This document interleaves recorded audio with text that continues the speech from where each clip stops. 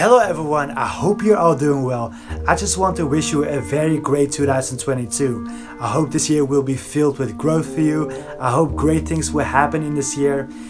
2021 was honestly a pretty okay year for me in terms of productivity. I'm honestly proud of the ideologies that I've put in my videos. They all got me to study more, to keep going, to persevere, and I hope others can say the same. But most importantly, I'm very thankful of all the people that have watched my content, that have liked, that have dropped comments. You were all very crucial to the to the growth of this channel and to my internal growth. So thank you so much for that. Once again, let's just make the best out of it this year. Like Tobey Spiderman said, let's just all try to do better. Take care.